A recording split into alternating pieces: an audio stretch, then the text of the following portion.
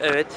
Forza Denevali takımıyla beraberiz. Arkadaşlar e, öncelikle tebrikler. E, bu maç herhalde sizin için önemliydi. Bir nevi rövanş gibi oldu. Tuna neler söylemek isteyeceksin? İlk maçında senin. Abi benim evet Kuzey Yıldız'da ilk maçımdı. Arkadaşlarımla da bu üçüncü maçım. Alışmaya başladım yavaş yavaş. E, Gerçekten iyi bir takımız. Bu maçı yendiğim bayağı iyiydik. İlk başta çok iyi başladık. Sonra biraz yavaşladık ama bütün takım çok iyi oynadık. Gerçekten arkadaşlarımı tebrik ediyorum. Teşekkürler. Oğulcan sen neler söylemek Ee, isteyeceksin? Çok iyi maç oldu. Peki takımda alt sıramızda bizim iyi mücadele ettiler. Tebrik ediyorum.